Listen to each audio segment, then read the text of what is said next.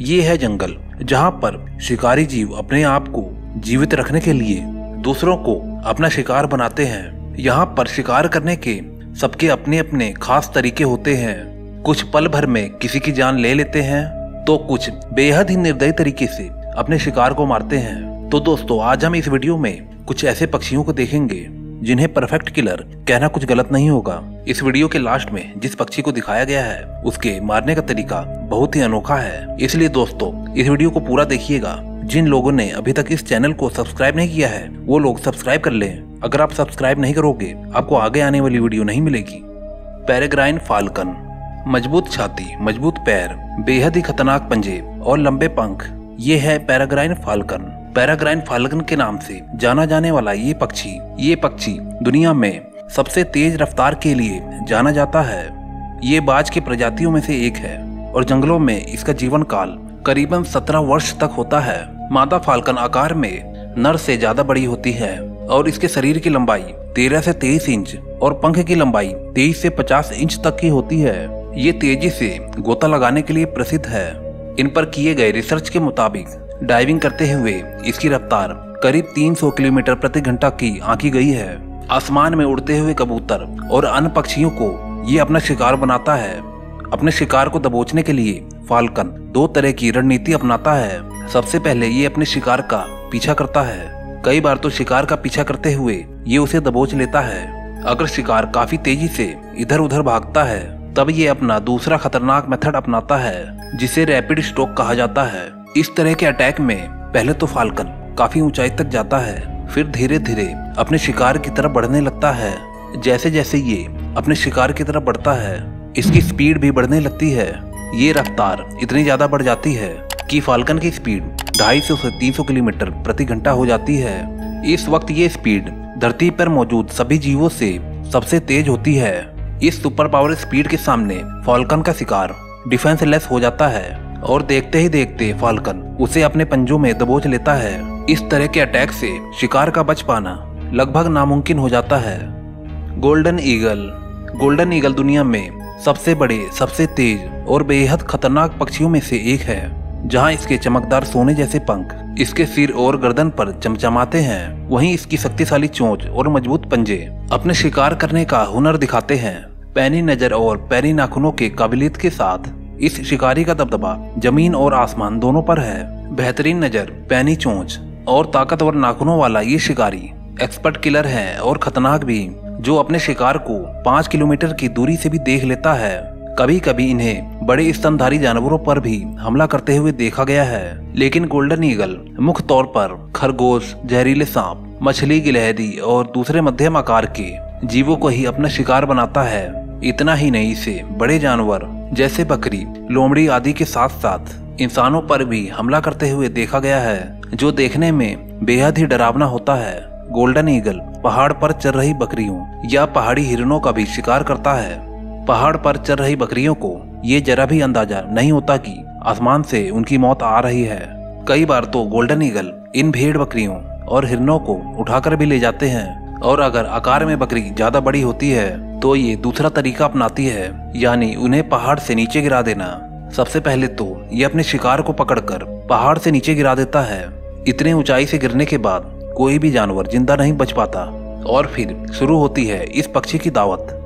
Shrike bird, आकार में छोटी और सुंदर से दिखने वाली ये चिड़िया, असल में ये एक परफेक्ट किलर है जो अपने शिकार को शिकार करने के बाद तुरंत नहीं खाती। उसे किसी पेड़ के कांटों में फंसाकर उसे टांग देती है, जब तक कि उसका शिकार सूखने ना लगे।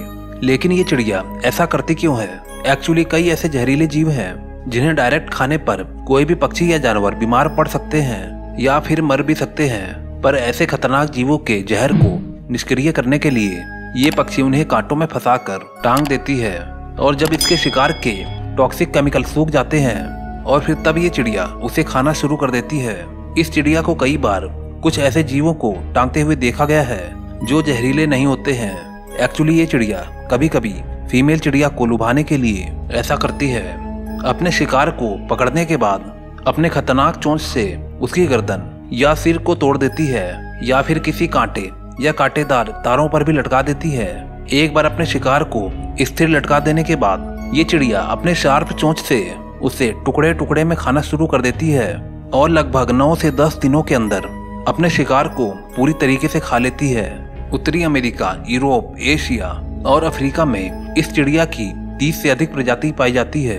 दोस्तों, देखने में ये पक्षी भले ही निर्दयी और खतरनाक लगे, लेकिन खुद को ज़िंदा रखने के लिए एक दूसरे को मारना ही जंगल का या प्रकृति का नियम है। दोस्तों, इनमें से आपको सबसे परफेक्ट किलर कौन सा लगा, हमें कमेंट करके ज़रूर बताएँ। अब हम बात करते हैं अपने सबसे पसंदीदा जंगल अमेजोन के जंगल के बारे में। कुदरत का करिश्मा, दुनिया का सबसे खतरनाक जंगल, सबसे दुर्लभ जीवों का बसेरा। यहाँ जीने के लिए संघर्ष करना पड़ता है। दुनिया का सबसे सुंदर और खतरनाक जगह, ये है अमेजोन का जंगल। ये दुनिया का सबसे बड़ा जंगल है, जिसका विस्तार दुनिया के सारे वर्षा वनों से सबसे अधिक है। यहाँ दुनिया के एक तिहाई जानवर पाए जाते हैं। यहाँ ऐसे ऐसे तरीके के दुर्लभ जीव पाए जाते हैं, जिसके बारे में हम सपने में भी नहीं सोच सकते। अमेजोन नदी से जुड़ा ये जंगल साढ़े पाँच करोड़ साल पहले से अस्तित्व में आया था। ये जंगल 5.5 मील स्क्वायर मीटर में फैला हुआ है। यानी कहें तो ये हमारे भारत से काफ़ी बड़ा है। इस जंगल में लगभग 390 मिलियन पेड़ हैं। इतना ही नहीं, यहाँ लगभग 10 मिलियन प्रजातियाँ पाई जाती हैं।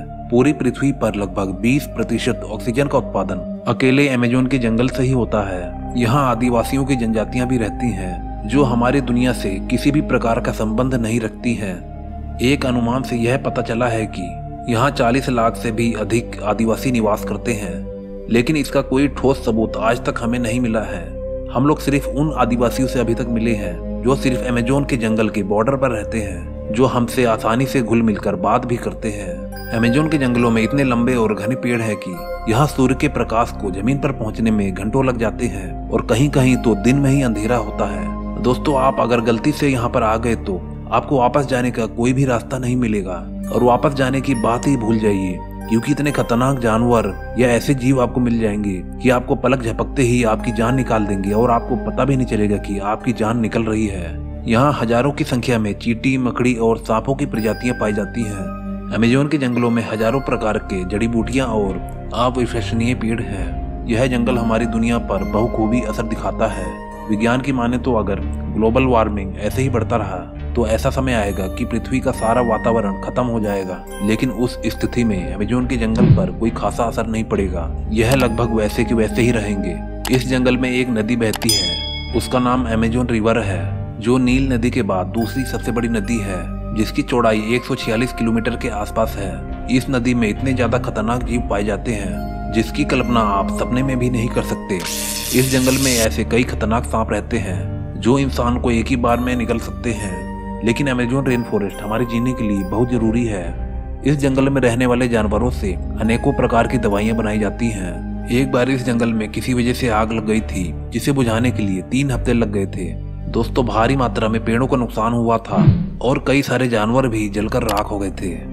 इस अमेजोन के जंगल को पृथ्वी का फेफड़ा भी कहा जाता है। यहाँ इतनी हरियाली और ऑक्सीजन पैदा होती है, जो हमारे पूरी दुनिया के लिए काफ़ी ज़्यादा फ़ायदेमंद है। दोस्तों, अमेजोन के जंगल में कई सारे ऐसे खतरनाक आदिवासी पाए जाते हैं, जो आपको एक झटके में मौत की नींद सुला सकते हैं। लेकिन दोस्तों, ऐसा भी नहीं है कि हर आदिवासी जनजाति खतरनाक होती है।